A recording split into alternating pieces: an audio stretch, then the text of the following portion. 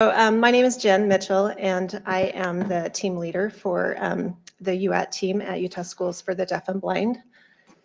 And um, so today we're going to be talking about um, some of the assistive technology that um, that our team uses for our students who um, who are blind, have low vision, deaf, hard of hearing, and deaf blind.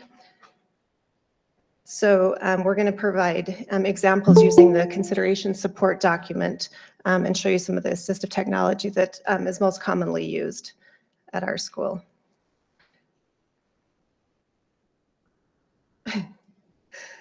Sorry, okay. There we go. Okay, so um, we'll go over the consideration support document in more detail, but um, the areas that we'll be covering is academics, sensory, communication, physical access, and computer access. And then we're also going to talk about the resources um, that we have through our school that's available statewide.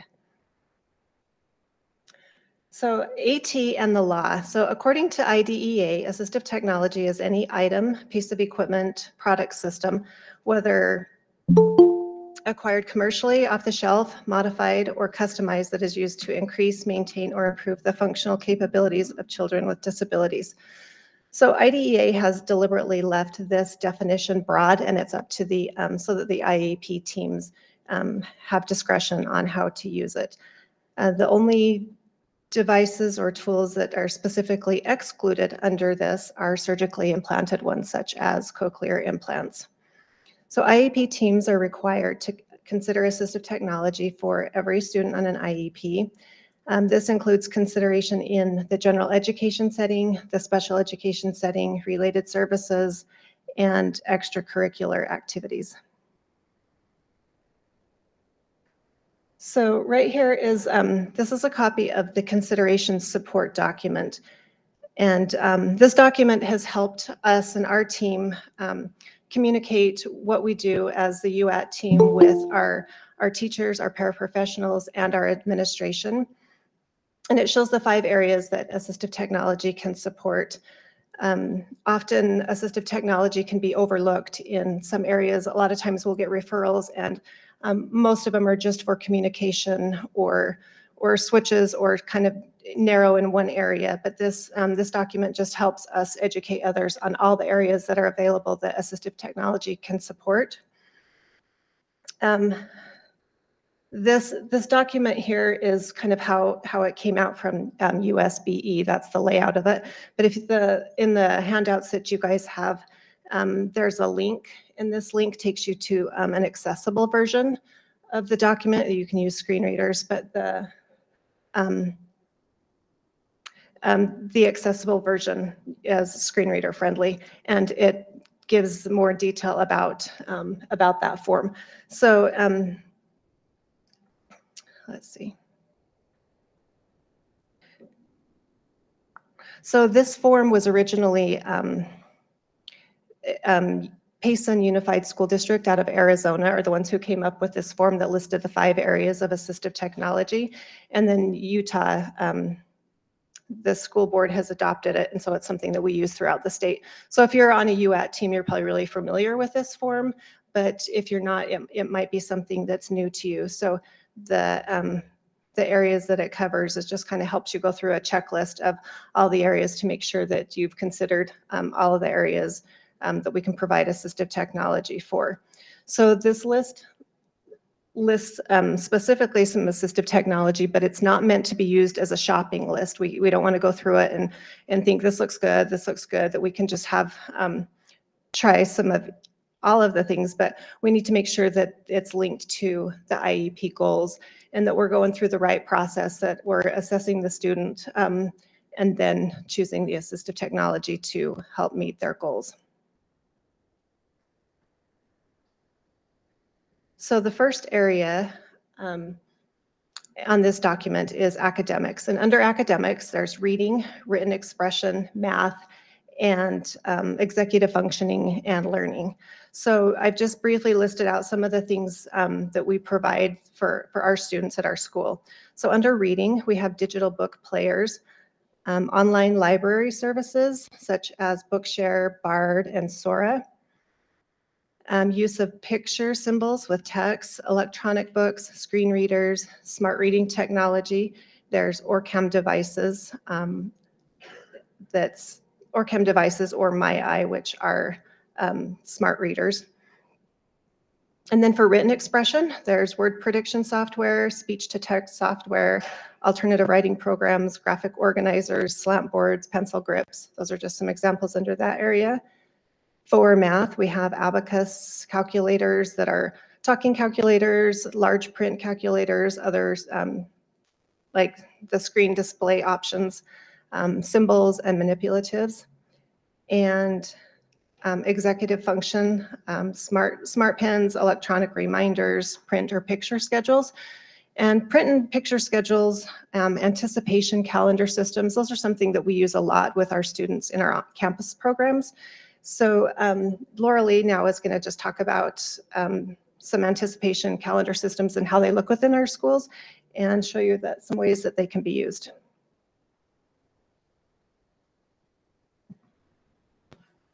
Okay, so I'm just going to uh, kind of describe um, what these pictures are showing here.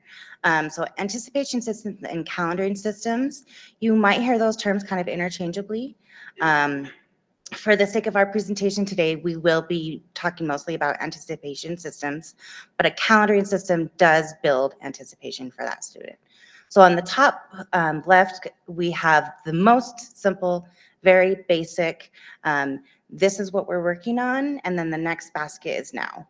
Um, so for the student that you're working with, depending on whatever cue that they're using, an object cue, tactile cue, and picture cue, um, we'll give some examples of what those look like. Um, you'll put that in the red um, basket, and that's the one that they're working on. So when they're working on that current activity, it's a good idea to kind of reference back to it, show them um, the cue at the beginning of the activity, somewhere in the middle, maybe a couple times. Repetition is always good. And then at the end, you're going to move that cue to the finish basket. And that's to let them know that that task is now ended and you're moving to the next task.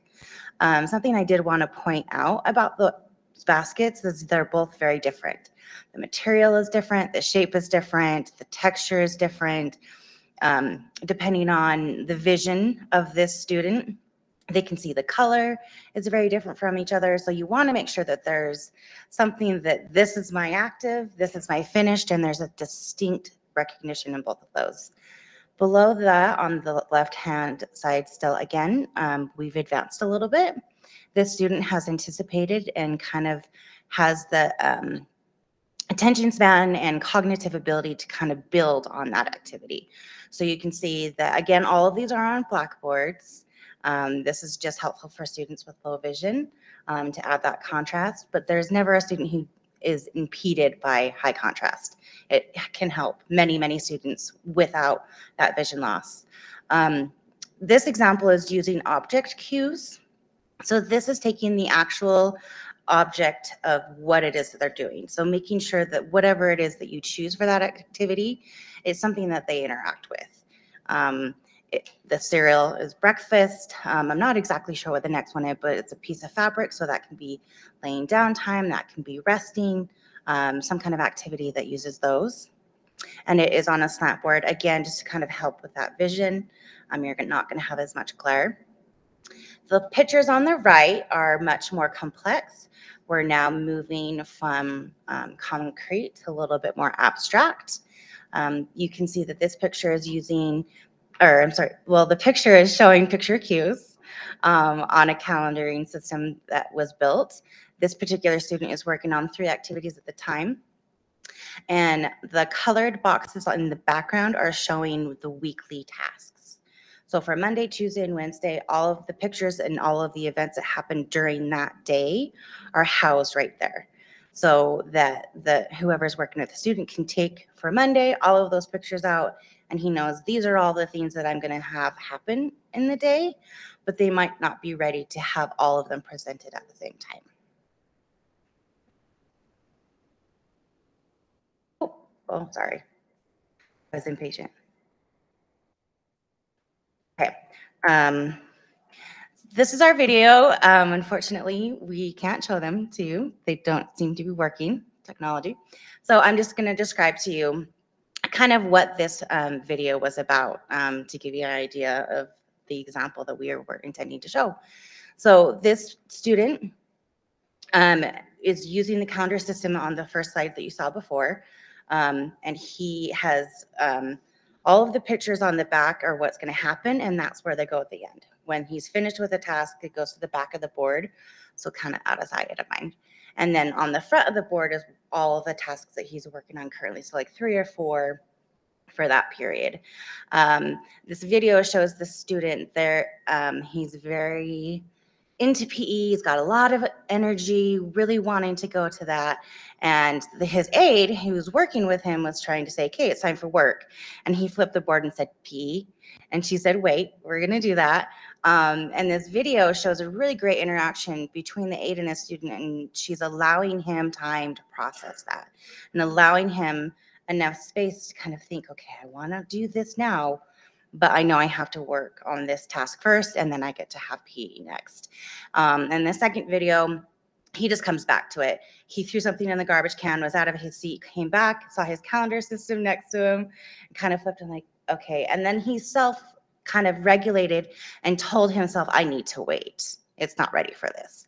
And this is a really awesome example on how calendaring systems and anticipation systems are successful and allowing our students time, whereas before that might have been a situation where he his behaviors are running away. So he would have run out of the class, probably would have found him in the gym um, had you let him get all the way. So I'm sorry you guys can't see that. so when um, thinking about building um, an anticipation system for your students. Um, you're going to want to think about their vision, their hearing, their cognitive ability, and where they're at with communication. Um, here are some examples of our visual and tactile anticipation system cues. So um, for the hierarchy, you start with the most concrete you guys know your students and kind of, um, if you're not as familiar, asking the team or kind of just getting to know them a little bit, but starting at that more concrete stage. The object is something that they actually participate with during that time. So we chose a fork and a spoon for our examples. This would be a great time for um, a cue for uh, lunch activity or snack activities. But if the student is tube fed, this wouldn't necessarily be the most appropriate cue system for them. Um, maybe the feeding tube or something else that they interact with. So you're going to want to take into consideration what they experience throughout that activity. Um, miniatures are super cute, and I always get really excited when I find a little bus or a toilet. But if that's not what the student interacts with, which if we think about a minibus, none of our students are going and touching the whole entire bus. For them, the bus experience might be a seatbelt or a buckle or maybe a part of their wheelchair that they're touching. Um, so try to stay away from those miniatures. Um, and then moving to more abstract. So you're going to move to on the object cues, the um, symbol of it. It's a plastic fork, very similar, not the one he uses, during the activity, but you're getting closer to that ab abstract, which is what you want. You cut it down and then you move it to the braille word or the spoken word. And on the other side, we have an example of the pictures, um, an actual picture, and then a drawn picture. With whatever system you use, you want to stay consistent. Um, try to veer from using object cues and picture cues, um, although that's an ideal golden rule. And for our students who have visual uh, hearing, I've been told to kind of speed up. So um, FM systems are a great use for our students in our classroom. A lot of FM systems now can connect directly to their hearing aids or the cochlear implants. They can also connect to iPads and iPhones. Um, and just something software that we use for our students, YouTube is really popular. There's lots of information that they can glean with signed videos and they can also upload their own. The next ones that we have are Nearpod and Quizlet. Those are good because they're very visual. Um, Nearpod, you can kind of edit in real time as you're going through your lesson and finding that you need to make some adjustments. You can do that then. Um, and then IXL math, which some of you might be very familiar with, some of you may not. Um, but we're going to move to the next slide and talk about alarms and alerting devices.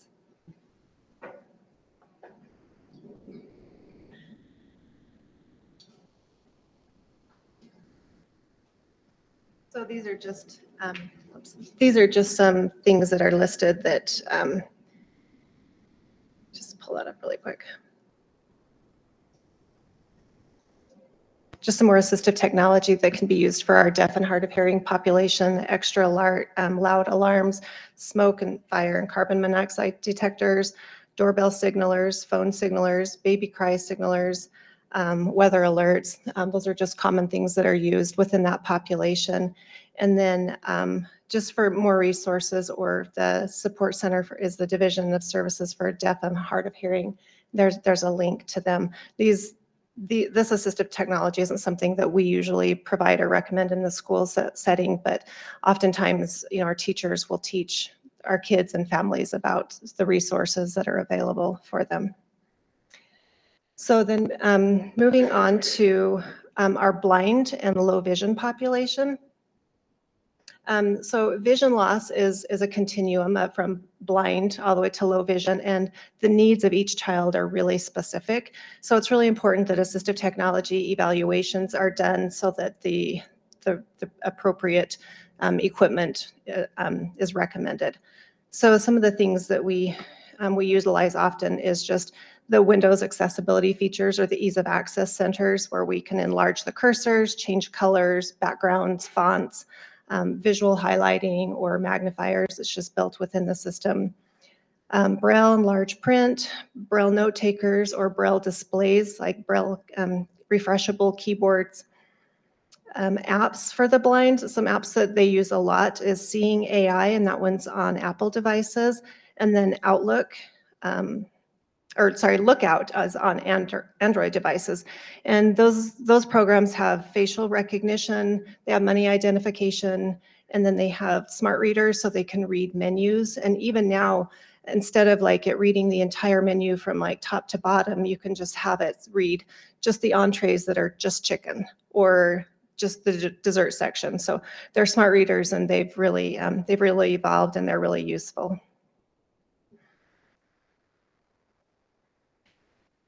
And then another area of uh, vision loss that we probably most commonly see at our school is um, cerebral visual impairment or CVI. So the diagnosis of CVI is, um, it's indicated when there's an abnormal visual response that cannot be attributed to the eyes. So it's caused by damages to parts of the brain back in the occipital lobe um, that processes visual information from the pathways from the back of the, the brain to the eyes. So unlike uh, many causes of vision loss, CVI is a condition that can improve due to um, neuroplasticity in our brain, our brain's ability to change and rewire. Um, so, so there is um, strategies to help improve vision, whereas some of the other visual conditions, the, the strategies are to compensate for them. So according to the National Eye Institute, CVI is the leading cause of vision loss among kids in the United States. So CVI is, um, there is a, a, test that you can do. Um, it's called the Christine Roman Lampert Rating Scale. And so CVI is rated on a scale from zero to 10. And zero means there's no functional vision, they're not using their vision. And then 10 means all of the CVI characteristics have resolved. So on every, um, every level from zero to 10, there's different visual characteristics that you'll see most commonly. And then within that scale of zero to 10, um, she's got it broken down into three phases. So um, phase one is just building visual behavior. So um, our UAT team works with um, the teachers and the paraprofessionals a lot on helping with um, positioning, um, accommodations of materials, and like teaching strategies and just staff support to help them provide, like set up the environment and provide the right um, instructional materials. So some of them might include high contrast, uh, reducing visual complexity, um, things displayed on a black or a backlit background, Um, highlighting with a flashlight or movement or reflection, all of those things will help draw visual attention. Um, they often have a preferred color, maybe only one or two colors at this phase, and that they can only see things that are a solid color. So we're not presenting things with a mul- multicolored. And then their visual field, often um, they are using peripheral vision, either off to the side or sometimes way up high. Um, so we want to identify the visual field, um, help them use their vision within that visual field, and then we want to start um, moving that peripheral into more of a more of a central vision. Um, is kind of the progression of that.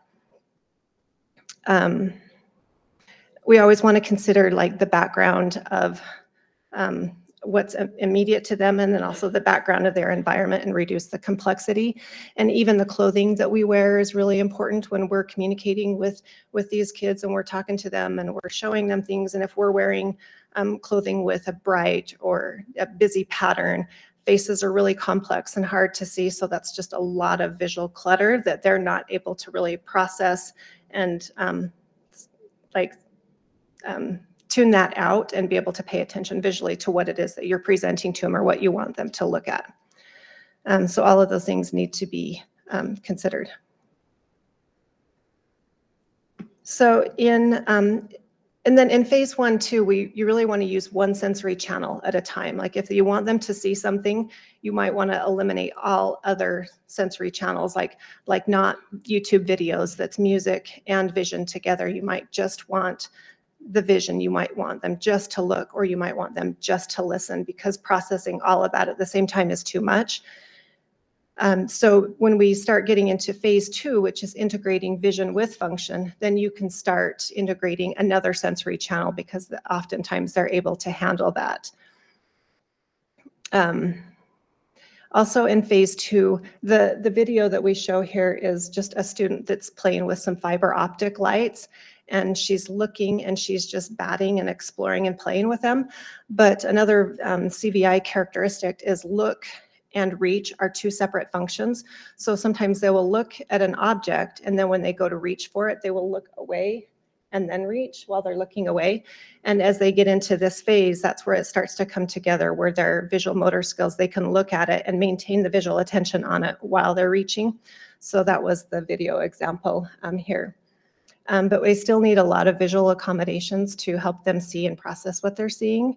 So um, you can start to increase the sensory and visual complexity simul- simultaneously in the background. Um, you probably want to continue using backlit devices for um, 2D materials. So in phase one, they probably can't really see 2D materials. It's got to be more of a tangible object. Um, now you can use 2D materials here. Um, don't expect sustained visual attention on 2D symbols. So they might, you know, glance at it, but they're not going to be able to hold their gaze on that for very long. Um, and you're going to see visual fatigue after a lot of vision activities. They won't be able to stay. If you start to see them look away, um, sometimes they just need to look away and take a break, and then they can come back to it. But you kind of want to watch for that fatigue too. Um, in the late late part of phase two, um, backlighting will help to extend that visual attention so they can um, stay using their vision longer. Um, you want to continue to use um, the preferred colors and highlight the salient features of what you want them to look at. Um, utilize um, a variety of visual fields. So usually you notice that they have a preference to a visual field, but now hopefully you can get them to to gaze and glance and start to look in other visual fields or start to bring their vision from the peripheral, whether it's one side or both sides, start to bring it towards the center now and maybe even down. Um, center of their vision and lower visual fields usually come last. Um, and then um, you can start to increase the presentation distance. So in, in phase one, it's usually just really near distance, like, um, you know, six to 12 inches in front of them. And now you can start to move things a little bit further back, depending on, you might still need things that are bright colors or solid colors or preferred colors or a little bit of movement. So if something that's bigger so they can see that further away. Oops. There we go. Okay.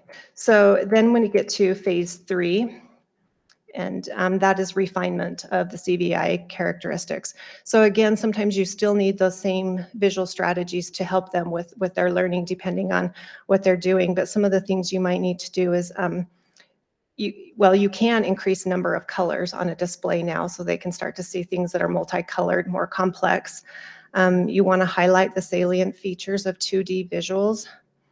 Um, if there's symbols or pictures or words of the same color, you might want to space them out or separate them. So if you're using like high contrast symbols and two of them have similar similar features, similar colors, you might want to separate them and not put them side by side because they still may have a hard time discriminating the difference between them.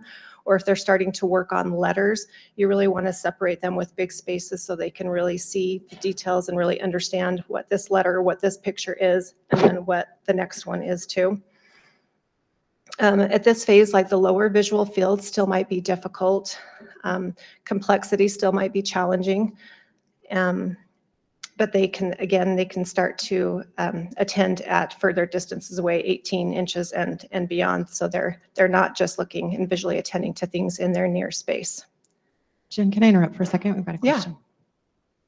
Can you, for the second item on this phase three, highlight salient features of 2D visuals? Can you just explain in more detail what that looks like? Yeah, so if they're, um, if they're starting to look at picture symbols, then you want to, you want to maybe talk about what it is, like either visually highlight it or talk about it or have them feel it. If there's like sometimes a, a tactile component on there, um, will give them more information. So sometimes like if it's a, it's, if it's a pictures of family members, let's say, sometimes you can um, like put a background or a um, highlight a color or use a texture around it. Um, you just don't want to put that on a page with a lot of other things. You still really need to highlight it. So whatever 2D visuals you're using, whether it's pictures or words or or symbols or anything, you might still need to kind of highlight it so they know this is the one I'm supposed to look at instead of a um, like a background and a lot of a lot of information or a lot of things presented all at once. Is that clear? Yeah, I guess I'm trying to define like highlighting, so you're talking about, I'm sorry. I think I was looking for like what, what exactly is highlighting? And so based on what you said, it sounds like you could add a texture to something or maybe take a light and trace around, um, like Yeah. a target object. Yeah, sometimes we'll just use like a red border around it. So like if it's a picture, we'll just use like a, if red's a good color. So we might just put a red border around it. Sometimes it is like, we'll use, um, so if the student is in front of me, we'll, we'll have a light coming and shining onto it. So they're looking, so it can be, it can be light, it can be color. Sometimes it's even just movement too. Just Okay. like this is, this is the one, just to help bring that visual attention to it. Awesome, thank you. Okay, now we're still on sensory, but we're going to move into um, the tactile system. So the video that we had here is just of the student who is using a switch to activate. um, It's just a, a vibrating pad.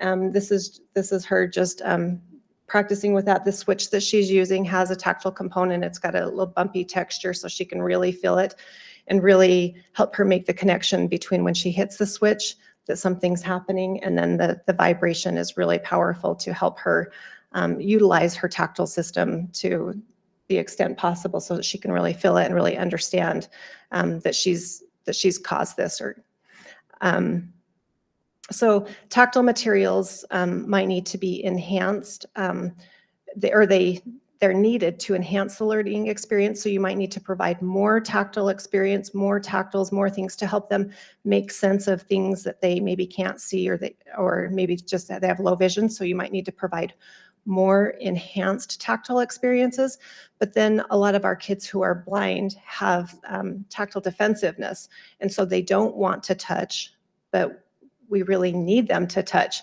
So um, the tactile system is really important for our kids that we are are considering this system and we're approaching it carefully because if they're very tactily defensive we still want them to use their hands, but we need to help them learn to use their hands in a way that they feel safe and they feel in control. So we use hand under hand technique to help guide them towards something. We don't ever take their hand and just put it on something. we try not just to place things in their hands, we want to present it to the back of their hand so that they know and they have the opportunity to accept it or reject it. So we just want to be really careful. If, if you've ever, you know, somebody said, close your eyes and hold out your hand. That's a, like, you're like, what are you going to do? That's a really scary experience. So um, we just need to be cautious of that as we're like giving things to kids. Um, just one little tidbit that when when you get a lot of tactile information a lot of tactile sensory experiences in your hands that information can stay within your central nervous system for, for up to an hour and a half or the effects of it so if you've if you've done a you know you've had something in your hand that was like a an experience that was scary it was startling I, I didn't like it it was it was wet it was sticky it was yucky i didn't like it that that response that they're feeling is going to stay with them for like an hour and a half um, so we want to just be really aware of how they're processing that information. Um, and then just one, one study showed that 65 to 68% of children with visual or a hearing impairment had sensory processing difficulties and a limited participation in activities.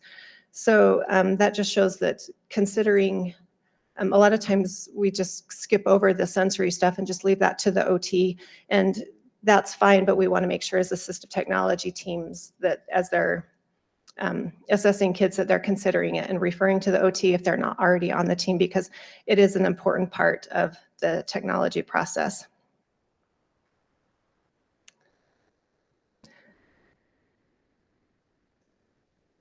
And then the last area is just proprioceptive and movement. Oh, I want to go back really quick on the tactile. So the other um, the other picture is this little girl, she's deaf blind, and she's wearing like a haptic belt or a Woojer belt. And those are belts that um, like they're really big now and popular in the gaming world. So this belt on her, she doesn't see or hear anything. So during like circle time and music times, they put that on her and she can really feel the vibration of the music and the sounds. So it just it's just one way of giving her a little bit more sensory input, a way that she can participate to the best of her abilities during during these times. And she really likes that. Her mom said she would sometimes have to take her for a drive and just like really crank up like loud music with a ba bass to it. And then she found this belt. And they can be really expensive though. There's there's Woojer vests and belts, and they can be, I think the vests are like four-ish hundred dollars or more.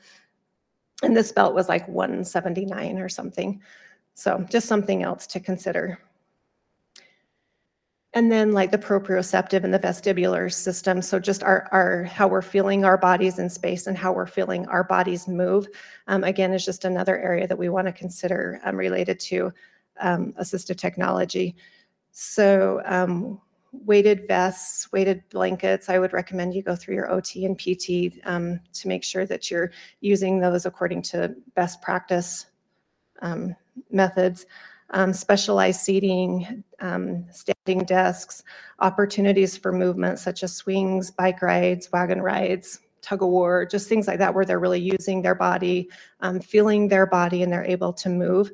Um, it's really important that they they get that that that sensory input, that's nourishment for their brain, helps them grow and develop and um, kind of feel where they're at in space and know their bodies and where their bodies ends in the environment or um, begins. Um, so we want to make sure if, they, if they're not able to give themselves that sensory input um, on their own, that, that we help them provide that. So there's a hierarchy of the central nervous system. And at the very bottom of that hierarchy is all of our sensory needs. And then at the top of that pyramid is the higher cognitive and academic learning. So we just want to make sure that, that all of these sensory systems, our vision, hearing, movement, touch, all of that, all of those needs are met um, to the best abilities that we can um, so that they are able and ready to do um, higher cognitive thinking and academic tasks that we're asking them to do.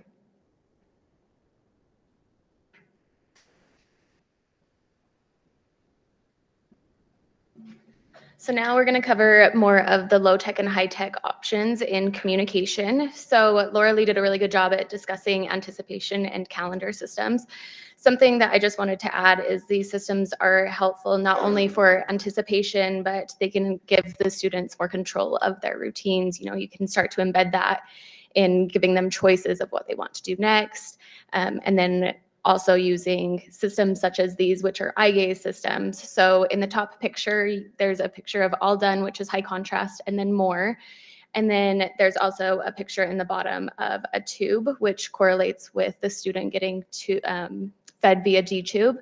Or she can also choose from her bottles. So when we're asking this student, we're asking her to gaze at the quadrant um, of if she wants to be fed via G tube or if she's preferring her bottle that day and she's looking towards it.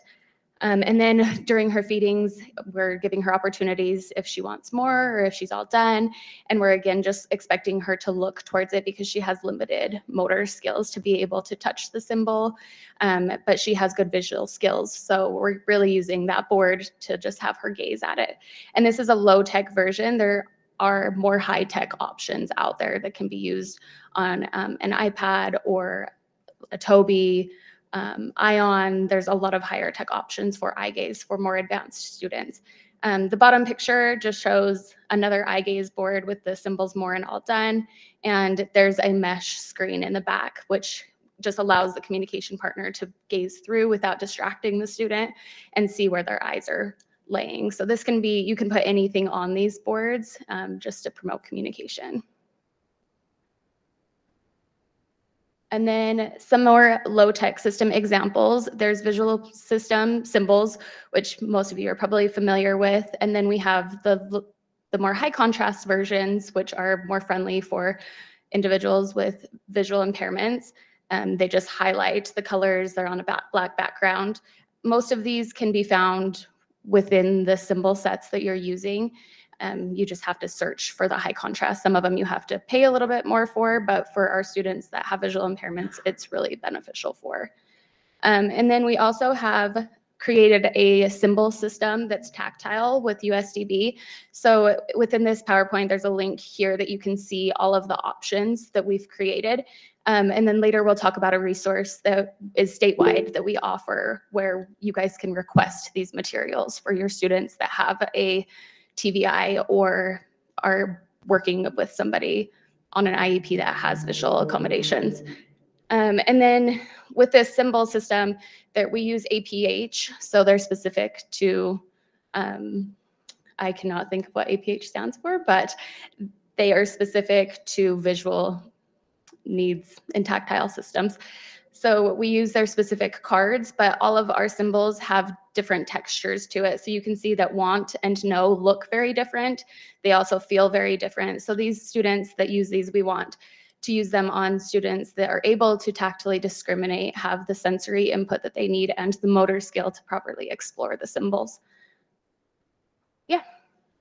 So the question online we have is explain more about the mesh boards. Where do you get them? Um, so most of the time we've made them. Um, this one specifically, again, when we talk about another resource that we offer with USDB, this can be requested as a material for your visually impaired student. Um, they're also, you can find them online, but really you can create them with anything. If you're using Velcro, you just want to put felt over any type of board. You can use cardboard, you, anything that's more sturdy, um, or you can purchase them and they're usually like a thick plastic. So I would just be creative. Um, this one specifically that has the mesh background, we had it made by one of our staff members. just to share on that point so i work at a school where we use a lot of these boards and we actually bought like a huge roll of fabric that's like the car ceiling fabric. And we just get it in black and then we wrap it around like old political signs. Yeah, And that's like a- awesome. That's perfect. Yeah, so you can be creative with this. It doesn't have to be anything fancy.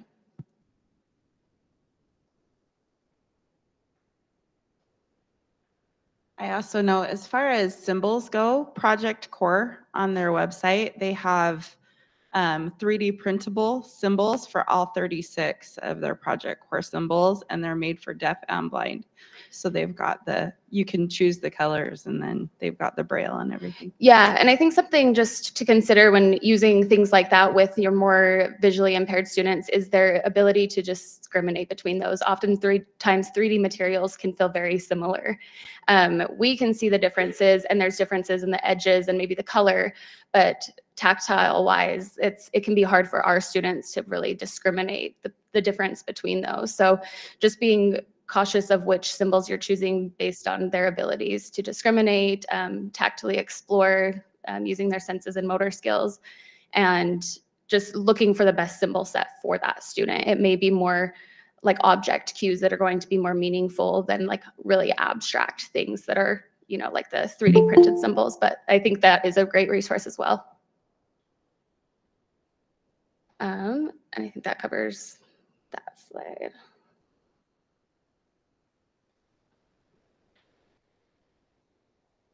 So two systems that we use quite frequently with our students, um, both deaf and blind populations, um, are partner assisted scanning. So a more specific definition of partner assisted scanning is it is an access method in which the communication partner presents choices auditorily and or visually for the child who is unable to use direct selection, such as pointing to pictures with a finger or using spoken language. Um, so the choices are presented and then cycled through for the student to indicate their choice. Um, you want to make sure that you're presenting in the same order so that then they can anticipate when they're going to respond. Um, switching up the order is going to throw them off. So if this is visually or just auditorily, you can you can use both at the same time but partner assisted scanning is one that we use often for students to indicate and their indications may look very different. One may push a button to say that's the one or yes or another student may just smile to show like oh i heard the one i want and then we're you know exchanging it with what we're offering. Um, similar to that is pod so pragmatic organization dynamic display systems these are generally organized in a book format using symbols and the vocabulary and or a speech generating device, so a more high-tech version of that. And these are used for the partner scans through the choices and then the individual indicates which one they're wanting and then they go flip through the book to really narrow down what the student's trying to communicate. Um, I wish we had, actually, I think you, Austin, can you click on that one I, if it will let you? Where it says example? No. okay. Well, the example that I wanted to show is a, a, individual who has a specific pod book that is high contrast pictures. And the mom was saying, oh, I don't, did you like that banana? And the, the little girl starts shaking her head and she's obviously saying no. So the mom then finds the symbol for don't like and was like, oh, I don't think you liked the banana. And the student then like starts really looking at the symbol and is like nodding. And so it's just a really good communication method just because she's scanning through the pictures, she's modeling what the communication means for the student, and then also giving her the pictures that correlate. So really making that connection for the student.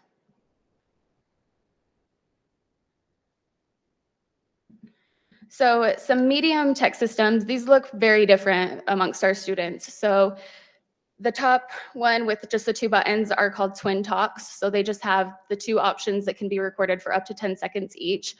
Um, something that we start to incorporate with all of ours is a tactile symbol that comes from our symbol list. And that's solely because we want to see if they can develop the motor pattern to be able to use a more complex device in the future. Um, and then, so this one underneath is also is one that's called a cheap talk. So it just has the four symbols. You can put a picture on it. You can put the tactile symbol. You can stick an object on there, whatever you want to use. But then that's a voice output device that just gives them more control of their voice. Um, this Go Talk 9 is one that was modified. Um, the idea for this student is that we want to see if they can find the motor planning and really explore the symbols that are on the front face of this in order to then maybe go to a more high-tech version that doesn't require the tactile symbols. So really making that connection in his environment and throughout his day with you know the symbols such as more during activities of us modeling it him feeling it him learning where the placement is because then we can go to an ipad with a grid on it that allows him to just motor plan and find that symbol in that same spot and continue. Yeah.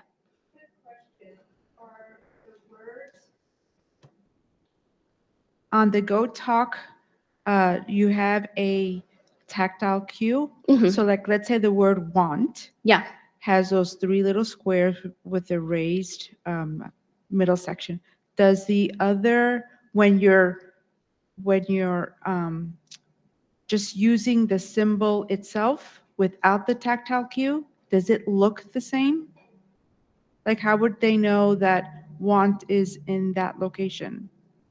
It would just be from finding it using the grid so that it's three down, three over. So just learning the motor pattern, kind of like uh, our apps on our phone of the more we find them in the consistent spot, that's what we're really trying to teach the student is that we're not changing the placement of it. That word is always going to be there. Then they're not always relying on the tactile component because really with the Go Talk 9, there are different levels to it. And so this is limiting the student's vocabulary, but with a more advancing the student to a high-tech version that shows that they're able to use the motor planning, we can add, to their vocabulary. Sorry, I have another That's question. okay. Um, so we, uh, so I work at Kauri Sue and we've taken a lot of the tactile symbols that you guys use and kind of have built our own symbol set. And I feel like we often have other staff members kind of like look at that bottom left corner for like, that's the binder ring and just really want to know how come that's the binder ring and how does the binder ring mean like? And so I'm curious how your team responds to staff members or uh, caregivers who ask that kind of question. Yeah, no, that's a great question. Um, honestly, I feel like I don't know the right answer for that, but I think just saying that these concepts are abstract. They're core vocabulary. Really, we just want to add the meaning to it. Like, yes, it's going to be abstract. So are the visual symbols oftentimes. And so we just want to make that connection to the student. The more we pair the vocabulary with the routine, the more we teach them the concept and then make that connection for them. So I wish I had a better answer, but. Um, so another medium tech option is a ProxPad. Um, I'm not sure how many of you are familiar with this. They come from Logan Tech and they have QR codes on the back of little cards. And this one specifically has a proximity feature and a touch feature. So with the proximity feature, you could put it under a desk and the student would only have to run the card across it um, for it to activate, which is really nice for our students that have, you know, limited motor skills. Um, or you can have it be the tap feature where they have to physically put the card on the device for it to use the voice output. Um, again, oftentimes we use like our picture symbols or our tactile symbols on this device. And then they also have another device that is a little bit more high tech, which allows them to combine words. So for this specific one, um, in this example, the student is given partner assisted scanning to find out what the student wants to eat. So he was given options of like goldfish, um, fruit snacks, and something else. And then he was asked again, which one do you want? And when he found, when he heard the one he wanted, he smiled and he was given that symbol to put on his device. So he combined the words, I want goldfish, and then used the green card on the very end to put it together. So then the device said, I want goldfish. So this just allows the students to start to build their vocabulary, build phrases and sentences, um, and then also leading to the more high-tech devices. But sometimes these, this is where the student's at and maybe just carries their symbol sets in their binder or in a binder or just make sure it's trans transfers with a student. Yeah. I've got a student who is using LAMP pretty successfully, but he's losing his hearing and vision. And so we're trying to figure out the reverse, right? Like how to go backwards. Do you have any recommendations for that? Yeah, that's really challenging. I mean, I think with those students, they they're going to be more reliant on the tactile system. So we have a similar student right now that we're just trying to incorporate more of the tactile components. Um, so kind of, you know, like you said, doing the reverse of incorporating more of those tactile cues, making sure that you're pairing them together, just like you would pair, you know, your object cue with like the picture cue, you want to start to do the other so that then when you're eliminating that device for them, they still have a communication method that they're familiar with. Are you familiar with any tactile overlays for like an iPad? That is, LAMP is on the iPad with an even, Yeah, you um, know, and like a grid that could still help. yeah, and we have um, somebody on our team right now that um, with USDB that is able to create 3D printed overlays. So I would definitely inquire about you know meeting with them to have one created for your student because if they're already familiar with the pattern of that and they still have some accessible hearing or things that, that's also going to be a resource at the very end. I think we'll have to be really quick with those, but um, I think that can be a great tool for most of you that are asking.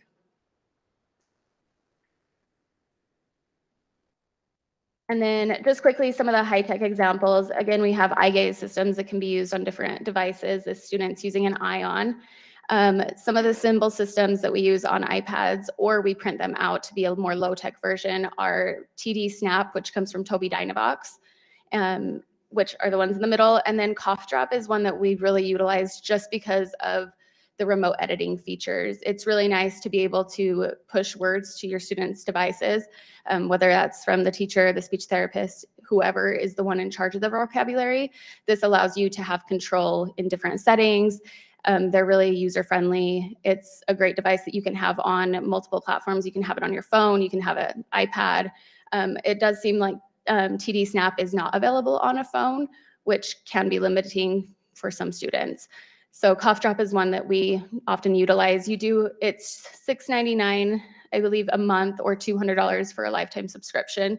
And then whoever is in charge of that account, it's $25 to be like an authorized user. So I don't want to spend too much time because we still have a few more things to go over, but that is our high-tech systems. And Ricky will go over some of the physical access.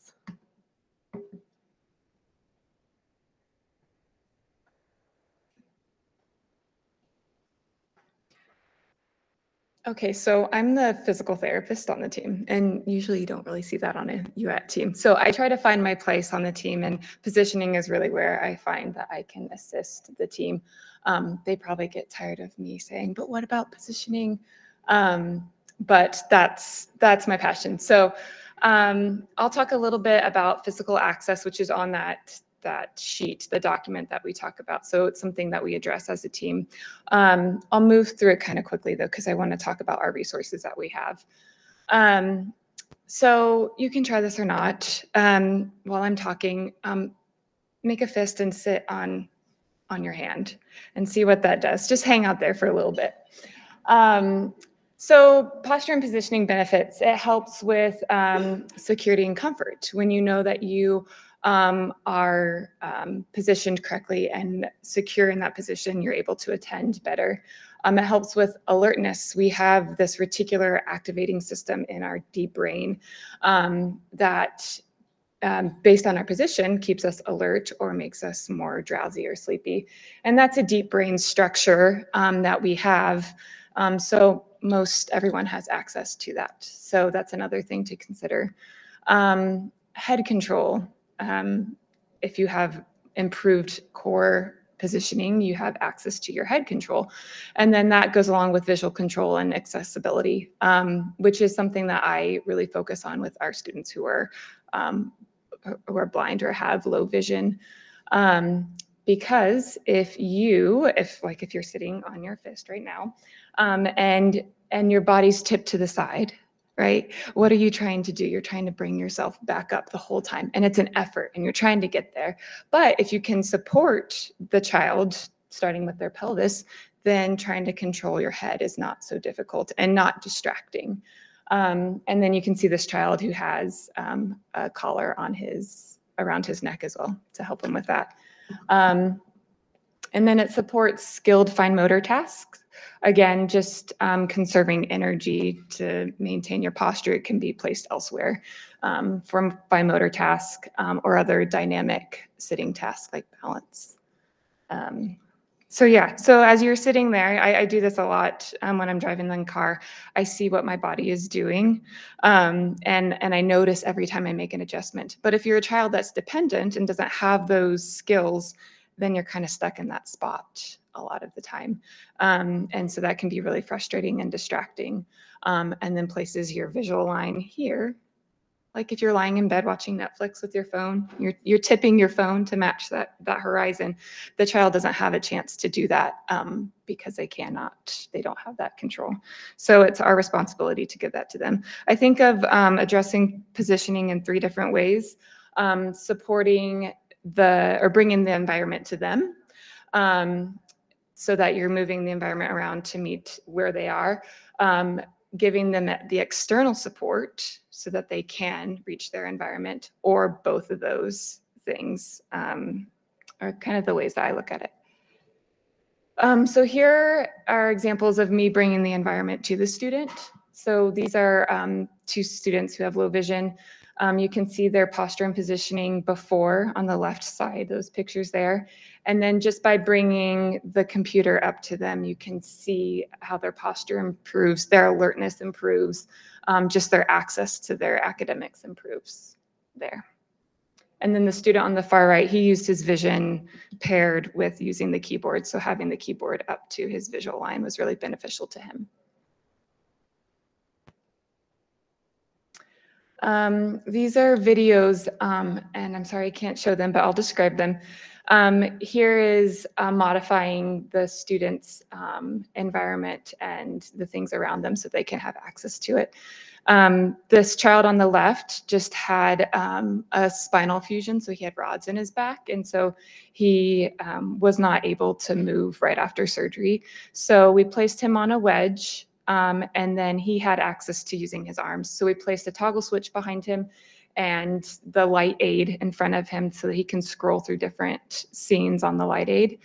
Um, and very intentionally, he would bring his arm back. And so we're using gravity to assist that as well. Um, so he's not using a lot of effort being in an upright position. It's more comfortable for him to be. Oh, okay. And then um, we have this other student who used a head switch. So that was another way that he was able to communicate is um, by using that head switch. Um, he also had extension patterns that placed him here. So we just moved the switches so he had access to those. Um, he wasn't able to isolate that. And then the student on the right there also used a switch with his foot. He had bilateral extension of his legs. And so um, we placed the switch where he was able to move and he was able to activate switch toys, which he really enjoyed, you can see. Um, other considerations, um, just going through these, you want to consider their cognitive and physical abilities and diagnoses. You don't want to place limitations on a child, but um, just knowing where their maybe where their prognosis is and where their baseline and potential is is really helpful. Um, their their residual vision and hearing abilities um, and other salient features that are meaningful to them. So um, important vocabulary and just motivation and, and interest that the child has can really give you access to see what their potential is. Um, there's many times where I think a child cannot perform a task and then I give something that's meaningful to them and they're like, oh, yeah, you can do that. Um, so the next slide, we're going to talk about the resources, um, which I really want to get into because I think you guys will enjoy those.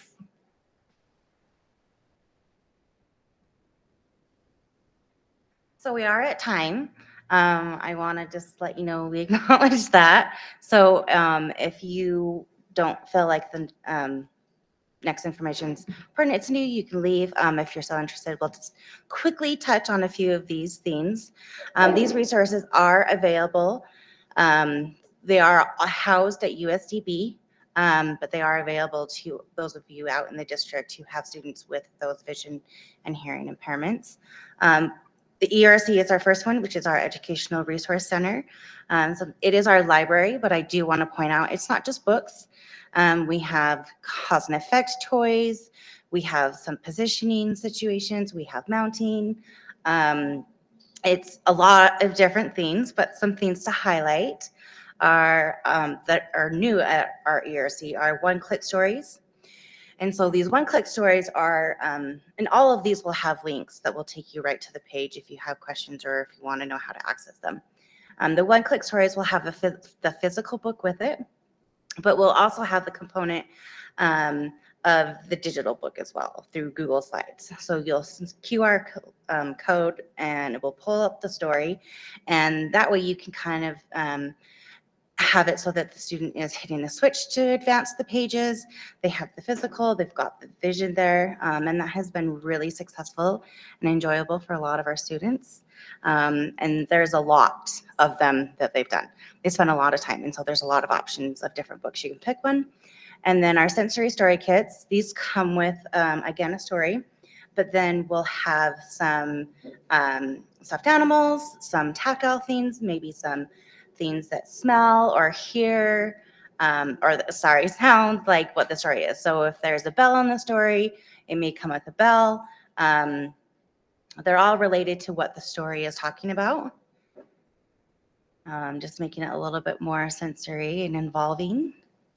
This is our USIMAC Center. So this is where we print in um, large print, braille, or digital formats for um, books.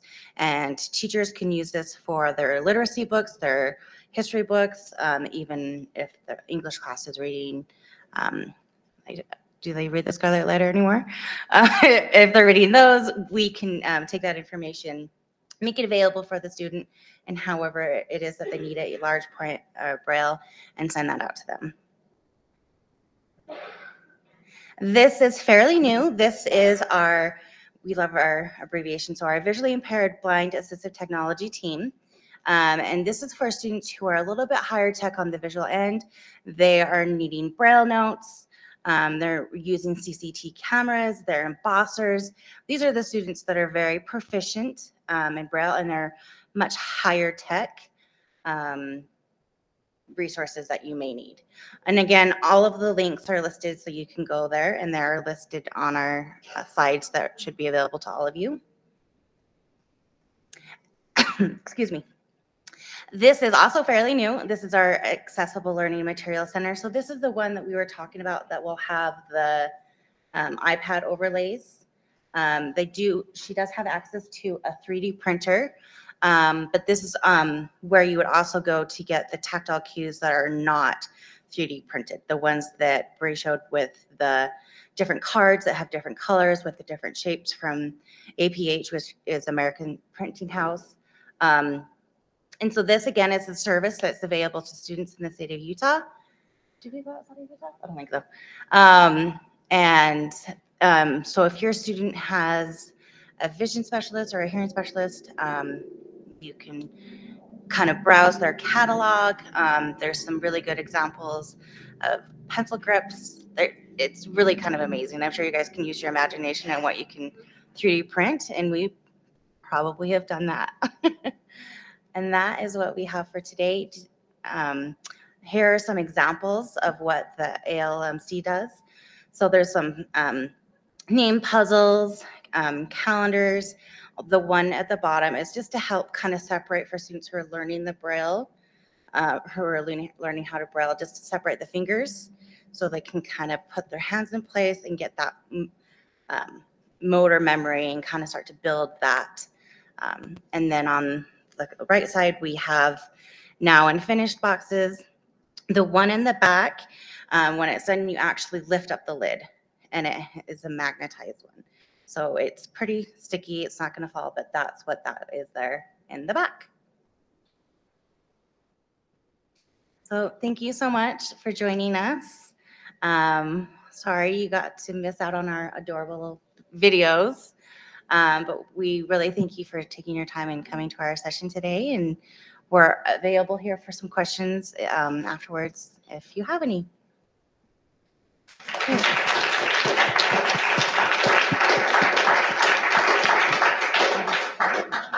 Thank you so much. And remember to check those emails for the Midas credit and then to also rate all the, all the sessions. And there are a few buttons back